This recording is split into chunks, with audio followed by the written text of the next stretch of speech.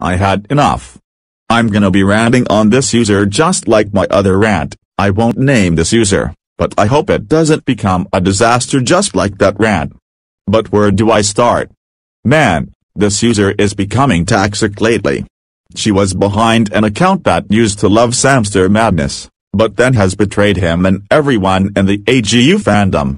I even made a grounded video out of her. She was also behind an account of this guy who loves Angelica Pickles and even insulted Samster Madness and made him run away. She always blames Looney, Stu, and Samster Madness for her problems.